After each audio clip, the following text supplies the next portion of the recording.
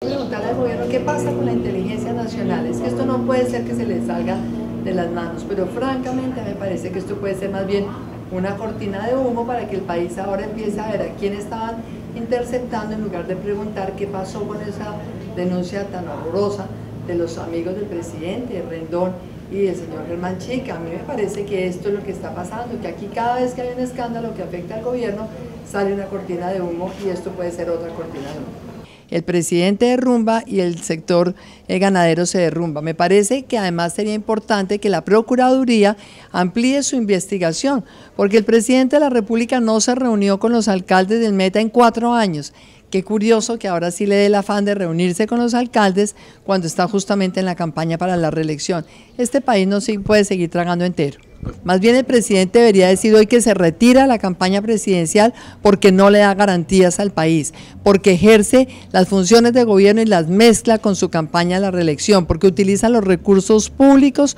para favorecer su reelección y porque ahora vemos entonces que mezcla la rumba con el derrumbe del sector agrícola y del sector ganadero de Colombia.